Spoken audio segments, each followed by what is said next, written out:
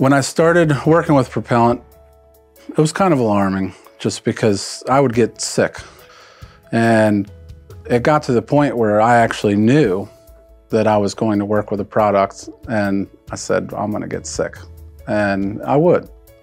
I started noticing that uh, I was having other issues when I was at work. It got to the point where uh, I, I couldn't breathe at all.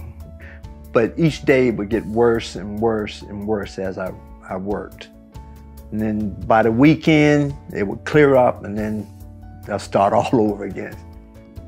When I first started having symptoms, I went through my medical team at my employer and was seen by their physician. And after I didn't really get any solid answers to what was causing my issues, I went to my regular family doctor, explained everything to her, and she had told me that I need to see a specialist. And uh, within several months, we had some answers.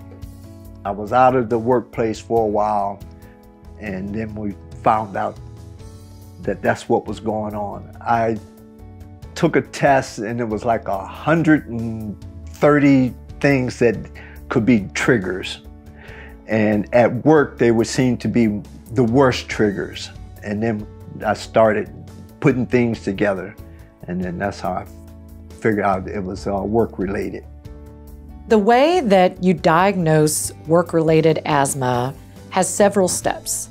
The first is that the clinician needs to confirm that you actually have asthma.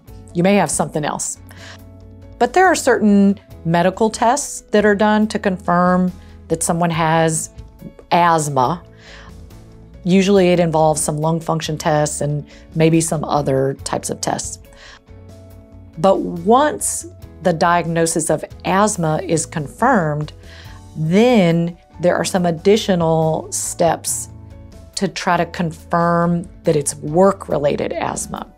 And the critical piece on that is the patient noticing that the symptoms are worse at work and they're better when they're not at work.